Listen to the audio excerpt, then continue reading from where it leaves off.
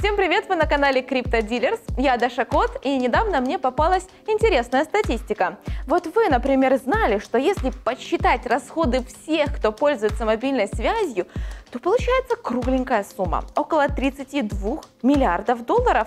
Но 15% из них, а это почти 5 миллиардов, так и остаются неиспользованными. Такой анализ провела корпорация Cisco, а проект Dent, о котором мы, кстати, сегодня поговорим, придумал, как нам вынести свою выгоду из этих непотраченных ресурсов.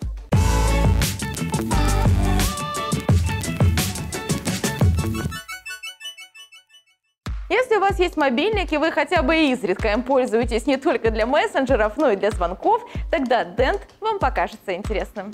Основная фишка проекта – обмен трафиком. Ребята создали уникальную платформу аукционов, на которой каждый пользователь сможет покупать, продавать или раздавать актуальную информацию. Все процессы на платформе осуществляются на эфировских смарт-контрактах. Конечно, у проекта есть свой одноименный токен, и он является платежным средством платформы, который пригодится для покупки сотовых данных. Давайте отмотаем время на 4 года назад и узнаем, с чего же все начиналось. В 2014 году Тера Катаянен из Гонконга зарядился желанием сделать мобильную связь дешевле.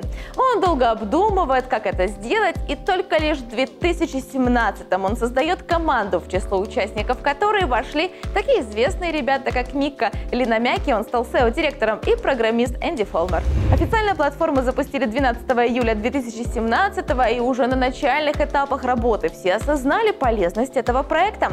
Дент успешно провел ICO с 12 по 26 июля прошлого года. Но меня удивляют намерения разработчиков надавить на мировых операторов связи. Они хотят объединить пользователей интернет-связи, в результате чего операторы будут вынуждены снизить цены на свои услуги. Такой себе мирный сотовый бунт. А теперь давайте о самом токене. Мы же здесь ради него собрались, не так ли? Dent разработан на стандарте ERC-20 и, судя по заявлениям разрабов, платформа децентрализованная и должна предоставить, по идее, возможность каждому из нас выгодно продать другим пользователям свой непотраченный трафик. Иными словами, на определенной стадии пользователь понимает, что у него есть лишний трафик, который он просто не сможет израсходовать в соответствии со своим тарифным планом. Как я уже сказала, продажа или покупка трафика осуществляется за токены Dent, но по желанию эти токены все-таки можно обменивать и на другие популярные криптовалюты или же фиатные средства.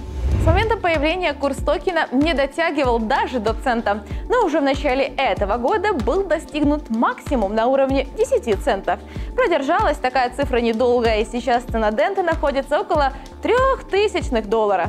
Майнинга Дент в классическом его понимании нет. Эмиссия ограничена сотней миллиардов монет. Если майнинга, как мы выяснили, нет, то единственный способ добычи дента – его покупка. Сейчас токен доступен на HitBTC, KuCoin и OKX. Хорошая новость, у проекта есть официальное приложение Dent Mobile, которое прекрасно работает и с Android, и с операционками iOS. Именно в этом приложении можно покупать или продавать свой трафик, а также оперировать своими токенами. Сейчас однозначно пока нельзя сказать, обречен ли проект Dent на успех или нет. Ведь платформа работает только в тестовом режиме и активно дорабатывается чтобы предстать перед нами во всей красе уже в этом году. Но, вне всяких сомнений, следить за токеном Dent определенно стоит, так как он имеет все перспективы для последующего роста. А что думаете вы по поводу этого проекта? Жду с нетерпением ваших комментариев под этим видео. Также пишите, о каких проектах вы бы хотели услышать в следующих выпусках на канале CryptoDealers. Будем мурчать почаще.